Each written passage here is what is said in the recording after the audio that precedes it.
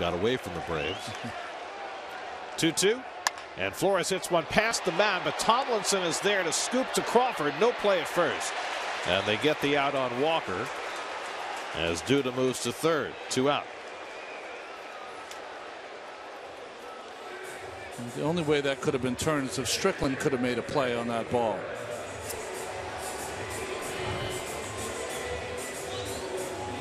Just gets past him.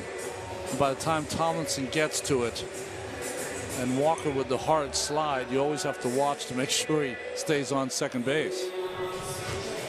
Now Rene Rivera is coming up with first and third and two out. Bruce Bochy is coming out. Maybe and I'm not sure what he intends to do. He doesn't have anybody up in the bullpen. Is it what I was talking about? Did uh, Walker keep the bag at second base?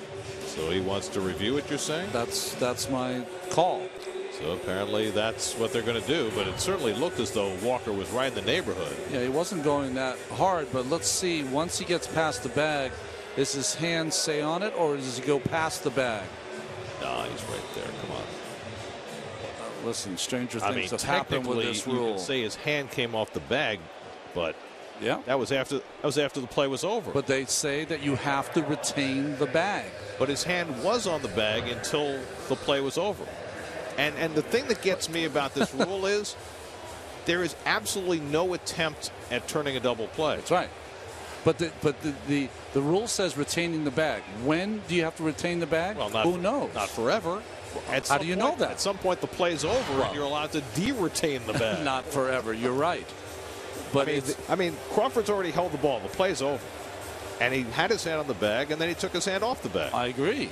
I'm, I'm in your corner. I'm just saying that at any time, whenever you make new rules, they can be interpreted in any way. Well, it's the, the law of unintended consequences, exactly. right? You write a rule, and then you, if you apply it, the letter of the rule, then you get consequences that you didn't intend, which makes the rule look absurd. And I'll say this, you know, the, the, the intent of the slide rule at second base is positive. If this gets called an interference play, then the rule should be abolished. Well, we, because this is that would be absurd. We've also had some people that have had the slide short and not reach second base, and that's been uh, asked to look at because they didn't retain the base, never got to the base. Play under review brought to you by Mazda Driving Matters. I mean, it was never the intent of the rule to call this an interference play.